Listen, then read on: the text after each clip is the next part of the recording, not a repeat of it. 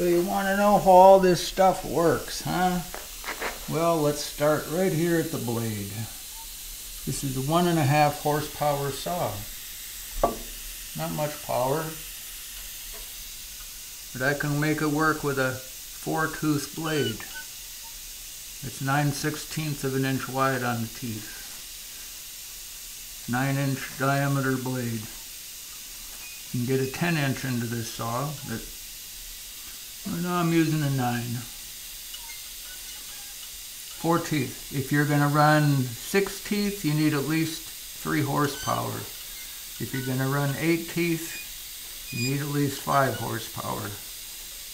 The more teeth, the faster you can cut, but you have to have more horsepower to pull that. Okay, how come I go fast on the way in and slow on the way out? Okay, this is turning, and as it feeds in, this shaft will deflect slightly. It'll push up, pressure between the blade and the, and the shaft. So you can feed it in as fast as you got horsepower to run it, but then when you back out, you have to go slow because that will pull it to its plus or minus two thousandths as far as the 10 in diameter. Backing it up is when it gets cleaned up. Gear motor, 90 volt DC, quarter horse.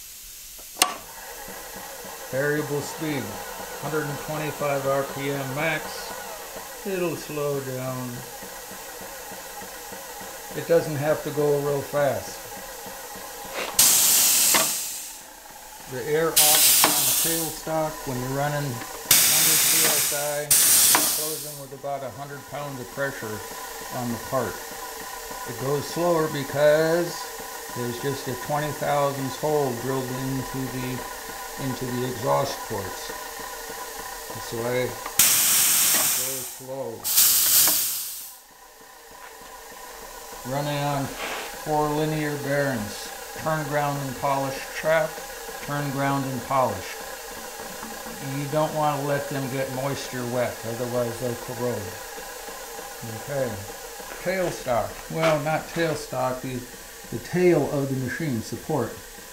It's just a nylon roller in there, but this has to roll back and forth, and it's kind of weird because it's wiggly, but it's only wiggly in the way that doesn't make any difference. It's very rigid for up and down. It's on a 2 by 4 by quarters aluminum tube, 6061 aluminum, really tough stuff. You can get the tailstock, well we send them out up to 16 feet long, that lets you cut stuff that's uh, material up to approximately 10 foot long.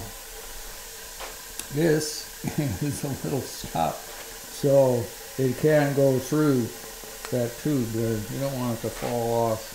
So this is important, little stop so it doesn't go through there. You adjust the height. See the holes up here? You can adjust for the height of the table saw and then uh, to get a taper tenon or a perfectly straight tenon to raise or lower this and it will adjust. I like it about 10 thousandths per inch as far as taper.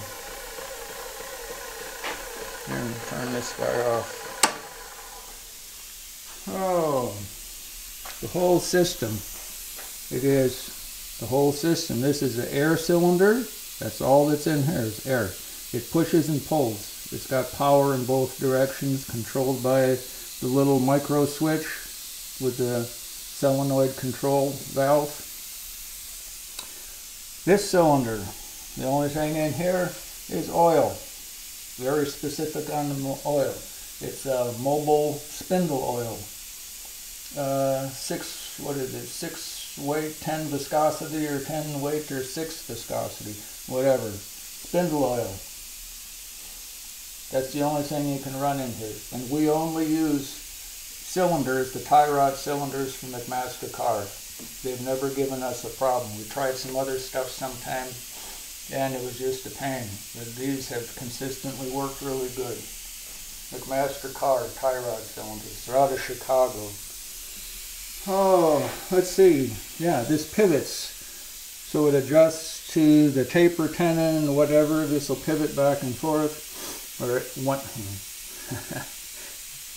it's locked into position once everything is set, but it's on bearings. You can see the one inch bearings in there.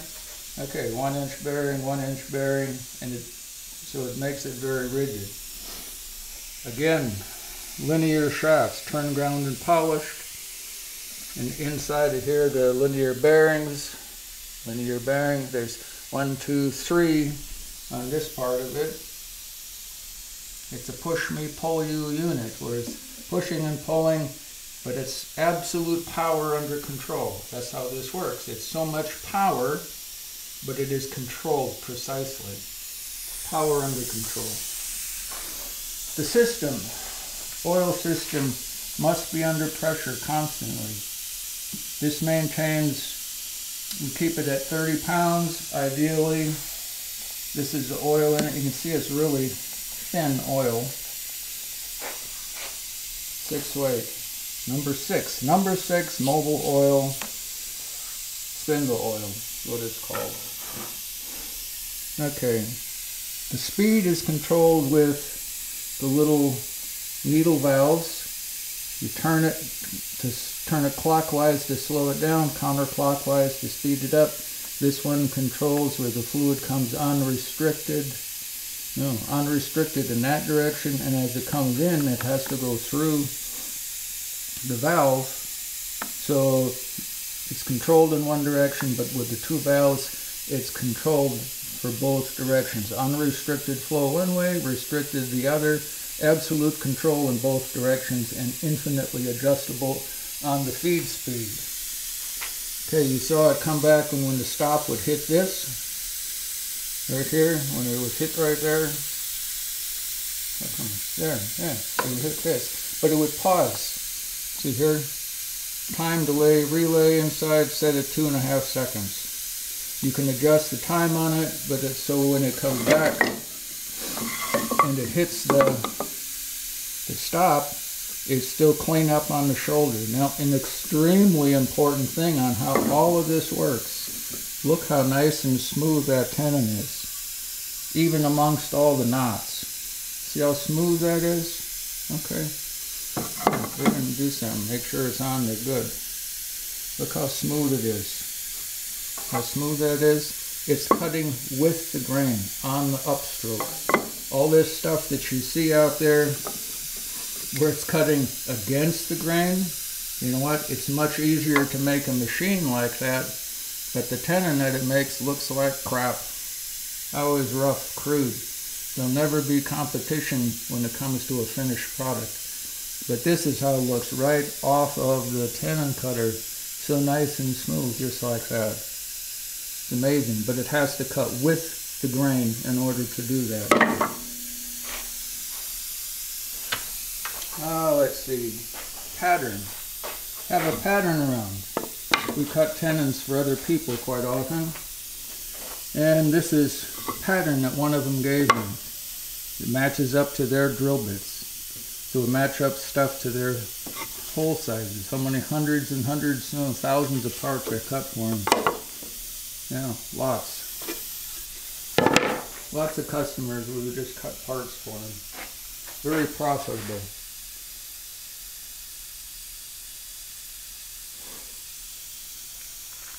What else you want to know? Huh? You got questions about other stuff?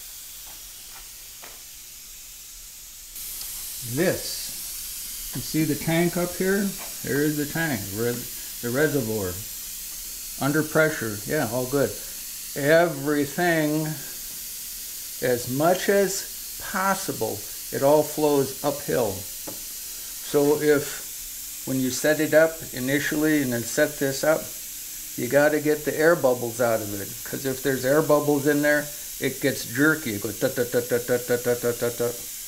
Can't have air in the system. So you see the cylinder, the exhaust exhaust ports. They are up, so it gets all of the air out of the cylinder. And then it washes it out uphill into here. But all of that has to go. So the bubbles go out, eradicating air from the system. And you gotta keep, it's gotta be clean, spotless clean in there. No contaminants. what's this? this stand. Yeah, when it's uh, traveling back and forth on the saw, the center of balance changes. And this, because it's really touching, it's being supported here at this spot where the stand is. It's being supported theoretically on the very end, on the other end. It's sitting on the top of the table saw. Right here, you can probably slide a sheet of paper in between there, but it's held down tight on this end and that end because when this whole carriage goes back and forth, when it slides, the center of balance changes and it will dark up the tenon. It'll get it goofed up if this if this whole thing is rocking. So this uh, outrigger foot very important. You want to look inside? There. There you can see inside.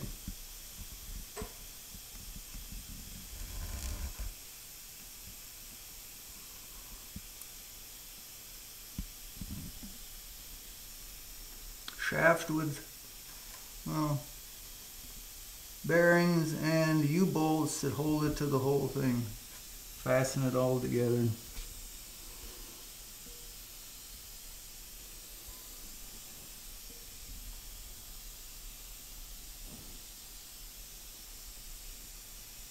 Tremendous amount of ability, amount of ability, tremendous amount of ability in a very small package.